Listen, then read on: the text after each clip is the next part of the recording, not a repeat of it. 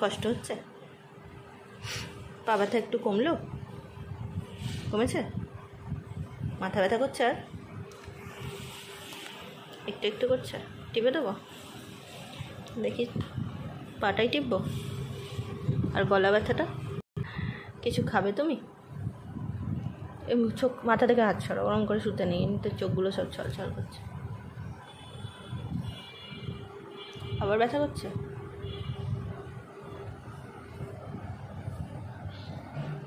নাকটা খুলেছে এখন? এখনও বন্ধ?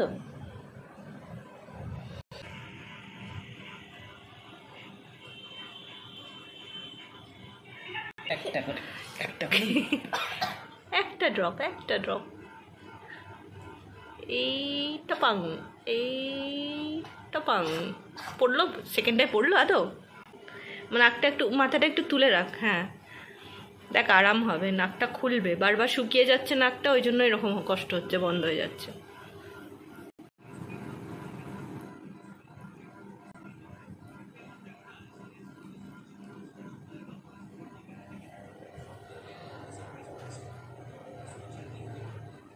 এক ঢোকে সবটা।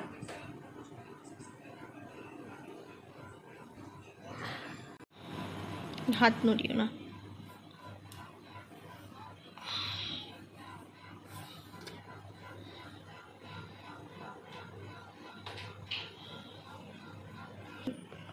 আবার হচ্ছে আবার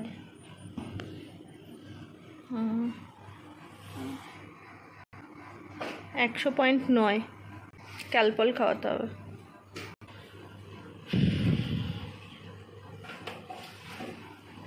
Hi everyone it's next day এখানে একটু বসি, তারপরে কথা বলব। শ্রেয়ের শরীরটা খুব ভালো নেই, যেটা দেখালাম। গতকাল ভোরবেলায় ঘুম থেকে উঠে শ্রী স্কুল গেছিল। তখনই বলছিল যে একটু গলাটা ব্যথা করছে। আমরা ভাবলাম, ঠিক আছে, খেলতে খেলতে হয়তো ঠিক হয়ে যাবে। স্কুলে গেলে সবার সাথে থাকলে ঠিকঠাক হয়ে যাবে। তো স্কুল থেকে এক দেড় ঘণ্টা পরেই কল এলো যে এরকম সমৃদ্ধির খুব শরীরটা খারাপ করছে, নাক বন্ধ হয়ে যাচ্ছে গলায় যন্ত্রণা করছে। সঙ্গে সঙ্গে ওর বাবা গিয়ে নিয়ে এলো। তারপরে এসে একটু খাইয়ে দাইয়ে কোনো রকমে খেতে কিছুতেই চাইছিল না, খাইয়ে দাইয়ে কোনো রকমের শুতে শুতে না শুতেই ঘুমিয়ে গেল। তো তারপর আমাকে যেমন যেতে হয়, ওর বাবাও অফিস বেরোলো, আমি যেমন অফিস বেরোই স্ত্রীকে আমার মায়ের কাছে রেখে অফিস গেলাম। মনটা এদিকেই পড়েছিল যথারীতি, কিছু করার নেই। কারণ বাচ্চার শরীর খারাপ হলে মা বাবার মন নিশ্চয়ই ভালো থাকবে না, অথচ কাজ করতেও হয়। এমন কিছু কাজ থাকে যেটা হুট করে বললেই অফিস থেকে ছুটি পাওয়া যায় না বা নেওয়াটা যায় না। তো আমার মায়ের কাছে থাকা মানে ও সেই আমার কাছে থাকার মতোই যত্নে থাকা, সেই ভেবেই গেলাম। মোটামুটি চারটের সময় মা আমাকে কল করে বলছে, তোর কি কাজের ব্যস্ততা কীরকম? আমি বললাম যে, না, ঠিক আছে, তুমি বলো কি কি খবর, কি অসুবিধে? বলল, যদি কাজের কোনো ব্যস্ততা সেরকম না থাকে, তাহলে তাড়াতাড়ি বাড়ি আয়, ওকে ডাক্তার দেখাতে হবে।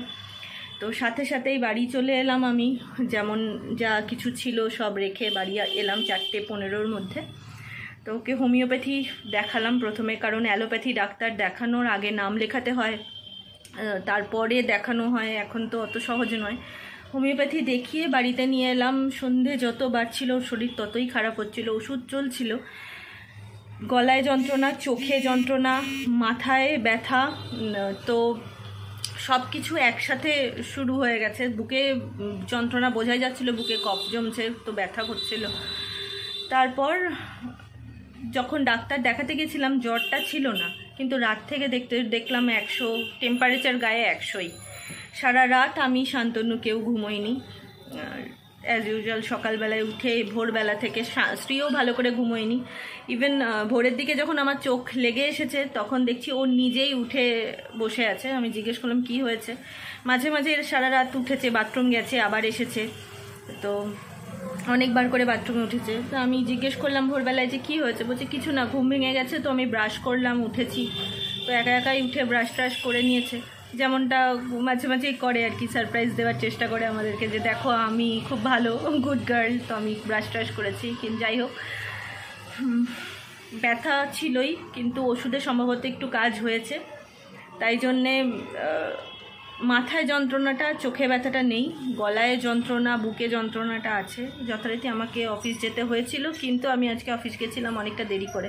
বারোটায় গেছি, আর সমস্ত কাজ কমপ্লিট করে আমার কলিগরা সত্যি খুব, কি বলব, সাহায্য করেন। ওনাদের গিয়ে বললাম, যা যা যার যা মানে আমাকে রিলেটেড কাজ আছে, সব পেপার্স তাড়াতাড়ি কমপ্লিট করে, আমি কিন্তু একটু তাড়াতাড়ি বেরিয়ে যাব, আমার মেয়ের শরীর ভালো না। তো কমপ্লিট করে মোটামুটি আমি পৌনে দুটো দেড়টায় অফিস থেকে বেরিয়ে পৌনে দুটো নাগাদ বাড়ি এসেছি। প্রচণ্ড রোদ কিন্তু আমার মনে হচ্ছিল মায়ের বাড়িতে এত গরম, এত মানে সব জায়গাতে, আমার মায়ের বাড়ি বাড়ি বলে নয়, এত গরম যে ঘাম কিছুতেই গা থেকে শুকোচ্ছে না। আর সবচেয়ে অসুবিধা হয় স্ত্রীকে নিয়ে, যেটা হলো মাথার ভেতরে যখন ঘাম মানে ভীষণ চুল ঘন তো মাথার ভেতরে ভেতরে ঘাম হয়ে যাচ্ছে আর চুলটা সবসময় ভিজে থাকছে। তো আমাকে মা বলল যে, টুপি পরিয়ে, টুপি টুপি লাগিয়ে চট করে ওকে নিয়ে কোনো রকমে বাড়ি চলে যায় তো এসে ওকে স্নান করালাম, আবার গাটা ধুয়ে দিলাম ভালোভাবে। কারণ ছোটোবেলা থেকে স্ত্রীর যখনই শরীর এরকম খারাপ হয়েছে, জ্বর হয়েছে, শরীর খারাপ হয়েছে, আমরা কিন্তু স্নান করানো, গা ধোয়ানোটা স্কিপ করিনি কখনোই। ঝরঝরে রাখার চেষ্টা করি ওকে যাতে ঘাম টাম পরিষ্কার হয়ে যায়। তো পরিষ্কার টরিষ্কার করে তারপর ওষুধ খাইয়ে সমানে হাত পা, পিঠ টিপে টিপে দিয়ে এতক্ষণে ওকে ঘুম পাড়াতে পেরেছি। তারপরে ভাবলাম যে ব্লগ যখন শুরুই করেছি, একটু আপডেট তোমাদের সাথে শেয়ার করি, কারণ এই সময়টা সমস্ত বাচ্চাদের নিয়েই মা বাবারা খুব চিন্তিত থাকেন। তবে ইমিউনিটি পাওয়ারটা ভালো থাকলে বাচ্চা সহ্য করতে পারে, এটাই একটা ব্যাপার। সর্দি, কাশি, জ্বর সব বাচ্চারই হয়। সব মা বাবাকেই এই ফেজের মধ্যে দিয়ে যেতে হয়। শুধু আমরা চেষ্টা করতে পারি কি তাদের ইমিউনিটি পাওয়ারটা যত স্ট্রং থাকে।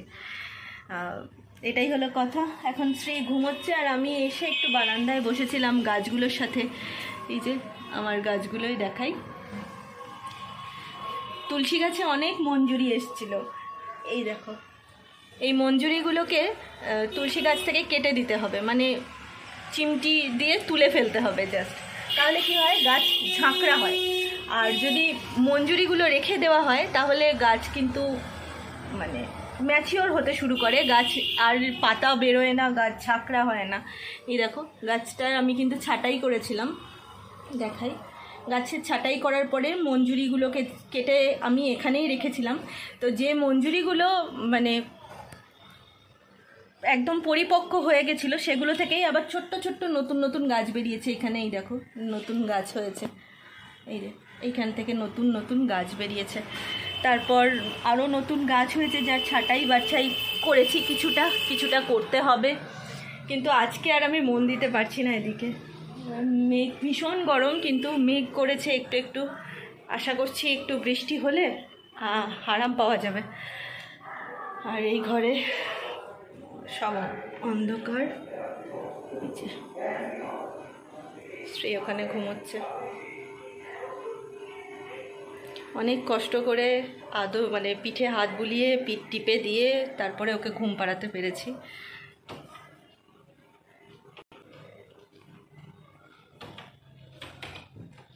তো আমি একটু ওপরে যাই, গাছে জল দিয়ে আসি। ও ঘুমোচ্ছে ঘুমো আর যা গরম পড়েছে, তাতে করে গাছগুলোকে দুবেলা পারলে জল দিতে হয়। এরকম ব্যাপার। আমার ছাদে তো খুব বেশি গাছ নেই। কিন্তু যেগুলোই আছে, যেমন শিউলি গাছ আছে, একটা নাকচম্পা আছে, এই ছাদে উঠে দুটো গাছকে জল দেওয়ার কাজটা অ্যাকচুয়ালি শান্তনুই করে। তা আমাকে বলেছিল যে, আজকে গাছে জলটা তুমি দিও। সকালবেলায় ওর পক্ষে সম্ভব হয়নি গাছে জল দেওয়াটা। কিন্তু ও আমাকে বলছিল বটে, এই যে, আমার শিউলি গাছটা অনেক বড় হয়েছিল এবং নতুন পাতা হয়েছিল। হনুমান এসে সমস্ত খেয়ে নিয়েছে। আর সেই সাথে এই তলে দেখো করলা গাছ হয়েছে। আমার পাতাগুলোকে খেয়ে নষ্ট করে দিয়েছে। নাক চম্পা গাছটাও কত বড় হয়েছে। দেখো, মাটিটা শুকিয়ে একেবারে খটখটে হয়ে গেছে। এত গরম আর এত রোদ।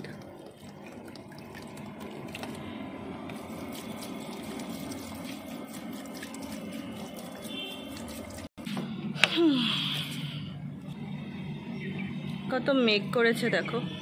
একটু বৃষ্টি হলে বাঁচি। আর এসিটার কি জোরে জোরে আওয়াজ করছে, এখানে বেশিক্ষণ দাঁড়ানো যাবে না। ছাদে কিন্তু সব সময় হাওয়া থাকে। এই দেখো, কি সুন্দর লাগে দেখতে চারপাশটা। এই ভিউটাই অ্যাকচুয়ালি আমার জালনা থেকে দেখা যায়। আমার জালনা শ্রীর ঘরের ব্যালকনি থেকে এই ভিউটাই অ্যাকচুয়ালি দেখা যায়। অনেক দূর দূরান্ত অবধি দেখা যায়। আর যত এদিকে আসবে, তত ফ্ল্যাটে ভর্তি। দেখো, এদিকটায় শুধু ফ্ল্যাট আর ফ্ল্যাট। যত দূর দেখতে পাবে, শুধু ফ্ল্যাট দেখতে পাবে। এদিকটায় শুধুই ফ্ল্যাট। আর ওই দিকটা আজকে কেন জানি না, খুব একটু সাদাটে সাদাটে লাগছে। কুয়াশা হলে যেরকম হয়, তো দূর পর্যন্ত দেখা যাচ্ছে না ভালোভাবে। যত এদিকে সব ফ্ল্যাট আর এই দিকটা একদম ফাঁকা মানে ফ্ল্যাট খুব কম। আমাদের এখানে ভীষণ হনুমানের উৎপাত। রাতে যখন আমরা সন্ধেবেলায় মাঝে মাঝে এসে ছাদে বসি, আমি, আমার বন্ধু মৌমিতা, ওর ছেলে, আমার মেয়ে, ঠিক এই জায়গাটায় এসে আমরা বসি। মানে এটা হচ্ছে সিঁড়ি ঘর মানে সিঁড়ি দিয়ে ওঠার জায়গা। এখান থেকে এসে জাস্ট এই সামনেটাতেই আমরা বসি। যাতে চারিদিকের লাইট টাইট জ্বললে আমাদেরকে প্রপারলি দেখা যায়। আর যদি কেউ নিচ থেকে ওপরে আসে, আমাদেরকে যেন দেখতে পায়। কারণ হনুমানের ভীষণ উৎপাত। হনুমানগুলো কোথায় থাকে? এই যে, বড় ট্যাঙ্কি, ভীষণ বড় ট্যাঙ্কিটা আমাদের। তো এই বড় ট্যাঙ্কির তলে থাকে, এই ওপরে থাকে। ইভেন ওই দিকের রেলিংগুলোতে শুয়ে থাকে। আর একটা না, একাধিক একাধিক হনুমান। তো মনটা আজকে আমার একটু ডাউন হয়ে আছে। মানে স্ত্রীর কিছু হলে তখন মনে হয় যে আমি ঠিক এনার্জি পাচ্ছি না। অসুখ আজকে ওর টিচারকেও বারণ করব। গতকালও টিচারকে বারণ করেছিলাম পড়াতে আসতে। কারণ ও খুব একটা বেশিক্ষণ বসে পড়তে চাইছে না। আমিও বললাম, ঠিক আছে, কষ্ট করতে হবে না অতটা। কারণ বুক বস মানে ভেতর থেকে একটা যন্ত্রণা হচ্ছে ওর। বুকে, পিঠে ঠান্ডা লাগার জন্য। চলো চশমাটা পড়ে যাচ্ছিল, আরেকটু হলে নিচে যাই। নিচে গিয়ে কিছু টুকটাক কাজ সেরে নিই, যাতে ও ঘুম থেকে উঠলে ওকে খেতে টেতে দিতে পারি। আর শান্তনু আসার আগে রাতের খাবারের ব্যবস্থাগুলো করে নিলে আমরা একটু অন্ধকার হয়ে গেল। এখানটায় আলো আছে। শান্তনু আসার আগে খাবারের ব্যবস্থা করে নিলে আমরা একটু বসে কথা বলতে পারব। আর দুটো জিনিস দেখাই। এই দেখো, এই পায়রা দুটো আমার রান্নাঘরে ঢুকে বসে থাকে। কারণ এই সামনের এটা হচ্ছে ওদের, কি বলব ডাইনিং তার সানসেটে বসে দেখে যে আমার রান্নাঘরটা ফাঁকা আছে কি না। যখনই দেখে ফাঁকা, তখনই এই দুজন ঢুকে টুকুস করে বসে পড়ে। চলো, যাওয়া যাক ঘরে।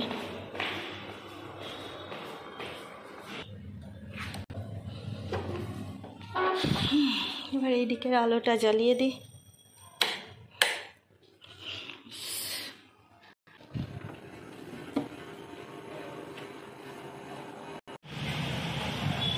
এই দেখো, অনেক দিন পর মনের ইচ্ছে পূর্ণ হচ্ছে। কারেন্ট চলে গেছে আর প্রচণ্ড ঝড় উঠেছে। আকাশটা দেখো শুধু একবার। কি অপূর্ব মানে এই দৃশ্য এত, ওহো, এতদিন গরমের পর এই দৃশ্য, ওহো, মন শান্ত করা আর কি। শুধু এখন শ্রী আমার ভালো হয়ে গেলেই আমার সব কিছু ভালো হয়ে যাবে। আজকে যেন একটু আমার মনে হচ্ছে এখন যে ঘুম থেকে উঠে স্ত্রী যেন বলে যে, মা, আমার আর ব্যথা ব্যথা করছে না, আমি এখন ঠিক আছি। আমার সর্দিটা কমে গেছে, নাক যন্ত্রণা নেই। তাহলে এই ওয়েদারটা না পুরোপুরিভাবে এনজয় করা যাবে। এখনও বৃষ্টি শুরু হয়নি, কিন্তু কালো মেঘ। সম্ভব সুন্দর।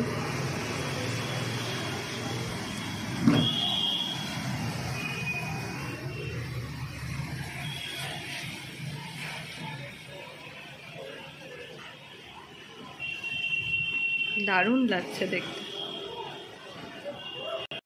আমি এখন আবার ঘরে এসে বসলাম। ভালোভাবে দেখার জন্য জানলা টালনা খুলে! আমি একটু শান্তনুকে ফোন করে নিই হ্যাঁ?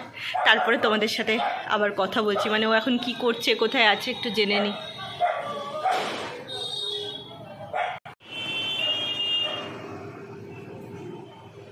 কেমন আছো শ্রী এখন অনেকটা ভালো আছে, যেমনটা আমি আশা করছিলাম যে ওষুধ টষুধ খাইয়ে ঘুম পাড়িয়েছি। এবার যদি উঠে বলে যে, না, আমার ব্যথা অনেকটা কম, তাহলে খুব আনন্দ হবে আমার। এই ওয়েদারটা আমরা বেশ একটু কী বলে ওটাকে উপভোগ করতে পারব। সত্যি বলছি মানে ভগবান আমার কথা শুনেছেন, ঘুম থেকে উঠলেও ওঠার পরে বলছে যে, পিঠের আর বুকের যন্ত্রণাটা নেই। তারপর অনেকগুলো বিস্কুট খেয়েছে, যেটা সকাল থেকেও কিছু খাচ্ছিলই না। গলায় ব্যথা আছে? গলায় পিঠে বুকে ব্যথা নেই কিন্তু নাক দিয়ে ক্রমাগত জল ঝরছে। একদিকে ভালো সেটা যত বেরিয়ে যাবে তত ভালো থাকবে তাই না? ওই কিন্তু ওই জন্য বারবার ওকে উঠতে হচ্ছে বাথরুম যেতে হচ্ছে কারণ রুমাল দিয়েও সেটাতে সংকুলন হচ্ছে না নাক দিয়ে এতই জল বেরোচ্ছে। না না না রুমালটার অবস্থা দেখানোর মতো না কেউ আমরা দেখতে চাই না। তাহলে এখন একটু গলা টলা ব্যথা কম তো? হ্যাঁ কিন্তু একটু নাকে নাকে আওয়াজ হচ্ছে। ওটা তো হবে সর্দি লেগেছে কিন্তু ব্যথাটা তো কমে গেছে। এটাই সবচেয়ে বড় কথা যে ব্যথা কমে গেছে। শ্রী কি চিকেন ভর্তা খাবে রাতে? আজকে একটু খেতে ইচ্ছে করছে? কাল থেকে পরশু থেকে শ্রী ভালো করে কিচ্ছু খাইনি সকালবেলায় কালকে ডিনারও ভালো করে করেনি কিছুই খায়নি। তো আজকে কি শ্রী চিকেন ভর্তা খাবে?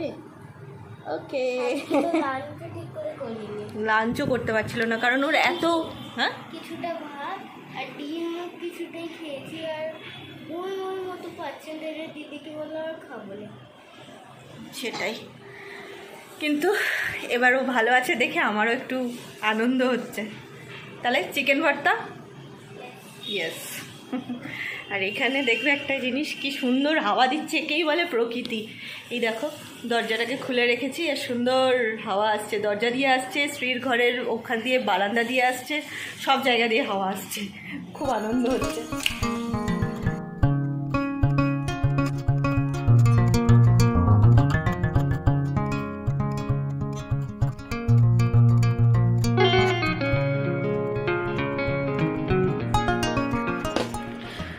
রান্না কমপ্লিট আরে, আজকে আমার নতুন গ্যাস ওভেনটা লাগানো হবে এখানে।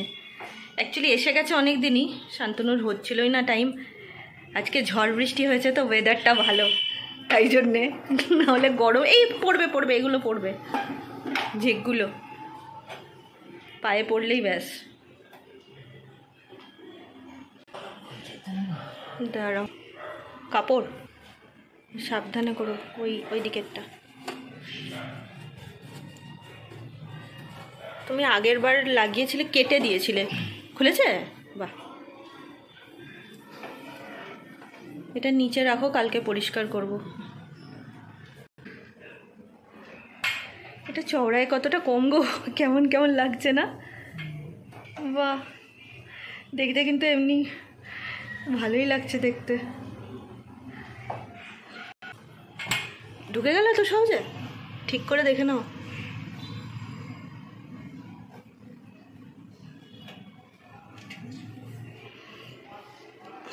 যাও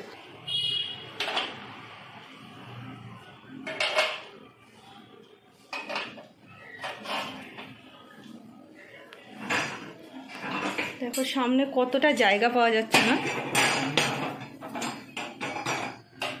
সবাই বলছিল কিন্তু ভালো। যারাই আগের ব্লগ দেখেছে, সবাই লিখেছে যে ভালো, অনেকেরই আছে অনলাইন থেকে কিনেছে। হোপফুলি আমাদেরটা ভালো হলেই হলো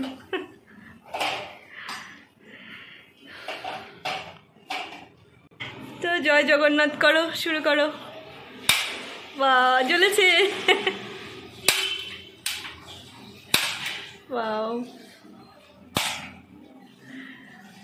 বাহ থ্যাংক গড জ্বলেছে। কোনো গন্ধ টন্ধ পাচ্ছ? গ্যাসের গন্ধ টন্ধ পাচ্ছ না তো? আর সামনে কতটা জায়গা? বন্ধ করে দাও, বন্ধ করে দাও, ঠিক আছে। এই দেখ শ্রী, নতুন গ্যাসটা। শ্রীও এসছে দেখতে। আমার এটাই বেশি ভালো লাগছে। সামনে কতটা জায়গা, এখানে অনেক কিছু রাখা যাবে। রান্না করতে করতে অনেক সময় রাখার দরকার হয়। আর পেছন আর খুব বেশি চওড়াতেও না না? আমি ভাবছিলাম অনেকটাই। ঠিকই আছে, আমার চিমনির একদম সাইজেই আছে। এই দেখো শ্রী এবার মাপতে এসেছে। এখান থেকে হ্যাঁ এবার সমান করে হাতটা সমান করে নেওয়া দেখি। হুম। ছোট। আগের বার বললি বড়, এবার বললি ছোট।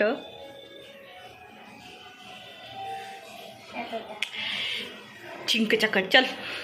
চল, চলতে হ্যাঁ চলো চলতে হ্যাঁ আর এদিকে চিকেন ভর্তা রেডি আমি সব এদিকে সরিয়ে রেখেছিলাম।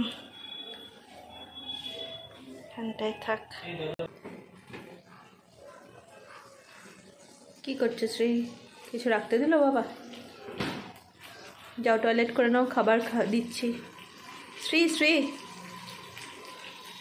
চিকেন ভর্তা খাবে? শ্রী শ্রী। রসগোল্লা খাবে? এবার আমার মেয়েটা ভালো হয়েছে। Thank God Shri Shri. I love you যাই হোক, পুরোনো গ্যাস ওভেনটা আমি ওখানে রেখে দিয়েছি মানে শান্তনু রেখে দিয়েছে। আর এখানে খাবারটা আর একবার গরম করা হচ্ছে, গরম হয়ে গেছে ফাইনালি স্ত্রীকে জাস্ট বলেছি বটে বাট একটুখানিই দেব। এটা যতই হোক, একটু তেল মশলা জাস্ট ধরো এইটুকুই দেবো ওকে। আর সঙ্গে আছে গরম রসগোল্লা আর রুটি। শান্তনু যখনই মিষ্টি আনে, একটু বেশি পরিমাণ এনে রাখে। তো রুটি খাওয়ার সময় মাঝে মাঝে কাজে লাগে। দেখো। এগুলো সব ফ্রিজে তুলতে হবে। যদি আর কেউ মানে স্ত্রী আর একটা আধটা বেশি খেতে চায়, তো সেই জন্য আমি বাইরে রেখেছি। তারপর সব ফ্রিজে তুলে দেবো। আর একটা জিনিস দেখাই। এই রকম প্যাকেটে মিষ্টি হোক বা অন্য যে কোনো খাবার আমাদের কাছে আসে, বাইরের দোকান থেকে রেস্টুরেন্ট থেকে তো এগুলোকে যদি গরম জলে, আমি দেখো প্লেন জল দিয়ে রেখে দিয়েছি, এর মধ্যে এসেছিল দু রকমের মিষ্টি, তো এগুলো প্লেন জল দিয়ে ধুয়ে আমি রেখে দেবো, তারপরে এগুলোকে যদি গরম জলে ফুটিয়ে ভালোভাবে শুকিয়ে রেখে দাও, এগুলো পরে আমাদের ফুড ডেলিভারির কাজেও লাগবে। হয়, অনেক সময় হয় না যে আমরা কাউকে কিছু খাবার দিতে চাইছি, তো এগুলোতে দেওয়া যেতে পারে, এগুলো ইকুয়ালি ভালো থাকে, কাজও করে। তো এগুলো জাস্ট ফেলে না দিয়ে রিইউজ করাটা খুব ভালো একটা অপশন যাই হোক, এখন এরম থাকুক। রাতে খাবার শেষ হওয়ার পরে আমি এগুলোর ব্যবস্থা করব ভালো করে। তো এই তো আমাদের ডিনার। রুটি, গরম রসগোল্লা, যেটাকে আরেকটু গরম করে নিলাম। আর চিকেন, বয়েল করা চিকেন, তার সাথে ডিম দিয়ে, ডিম সেদ্ধ দিয়ে একটা ভর্তা মতো করেছি। এইটা আমাদের খাবার। এটা স্ট্রেট, এটা আমাদের।